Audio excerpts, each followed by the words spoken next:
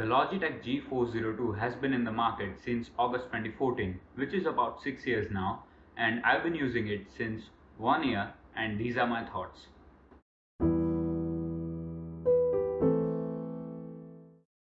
Let's start with the uses of the mouse first of all. The G402 has a Fusion Engine hybrid sensor with a 1 millisecond response time. One of the most overlooked features of this mouse is that it has no inbuilt pointer acceleration, giving you a much more precise control over its movements. Coming to the software, personally, I use Logitech G Hub instead of Logitech gaming software and many people complain about the G Hub but I haven't had any sort of issues with it yet. The software has a clean UI with easy to learn controls. All your Logitech peripherals show up on the home screen from where you can go on to customize the settings for any of them. For the mouse, there are three main settings, the lights, the buttons and the sensitivity. It also has a feature where you can cycle among various profiles for the same app using an assigned button. The G-Shift key acts as a temporary profile switcher, so you'll essentially have to press the button you assign the G-Shift key to, for example this one, along with any other button that you want to execute a keystroke with. I think it's a very cool feature which I use because it technically doubles the amount of programmable buttons that your mouse has. If you're using G-Hub, here's a tip that will come in handy if you're frequently changing devices or if you clean install Windows or for some reason there's some problem with the G-Hub software and you might have to reinstall it. Once you have all the profiles for various software set up, go to your C drive to this specific path.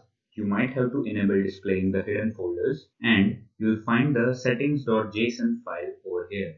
Copy it and place it somewhere you won't lose like in Google Drive. Another feature that the GHub provides is their profile store. Here, you can download various profiles that different users have put up for all kinds of games and if you like, you can upload your own profiles for others to be able to download.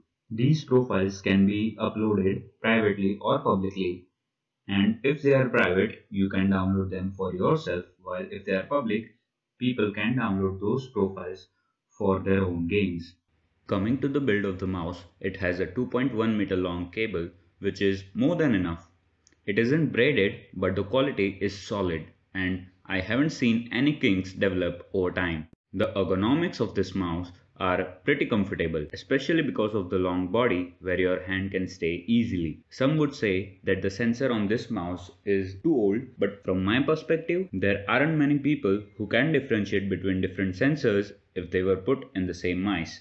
Logitech is one of the most trusted companies when it comes to peripherals and this device has a 2-year warranty. The mouse that I got on order developed an issue with the right click which was solved when I called their support and they told me to go to the walk-in center which I did and they replaced the whole device in 5 minutes with a brand new mouse. This is the reason why it makes the risk of spending 2000 rupees worth it because you know you're covered when something goes wrong.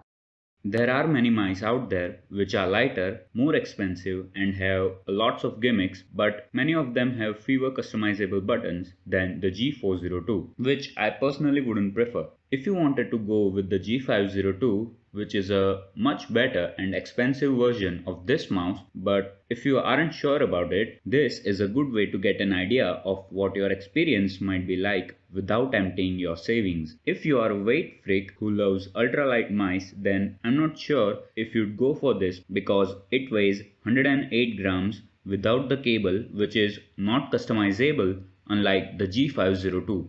I have used this for FPS gaming and I've had a great time with it. All the extra buttons help you ease out the process of switching weapons or you might as well create macros which is cool. If you're not a heavy gamer and you do content creation using softwares like DaVinci Resolve, Premiere Pro, Photoshop, Blender then you'll have a lot of advantage because of the extra buttons that this mouse has. You'll be able to speed up your workflow as you can assign various macros to the buttons on this device. The final verdict is that even after 6 years, G402 is still one of the best budget gaming mouse for FPS games without any quality compromises when compared to the G502. If you've been thinking about buying one, go for it because you definitely won't regret it. Don't forget to like and subscribe and if you have any queries specifically related to this mouse then you can ask me in the comment sections below and I'll be happy to help. Until next time, be kind to one another.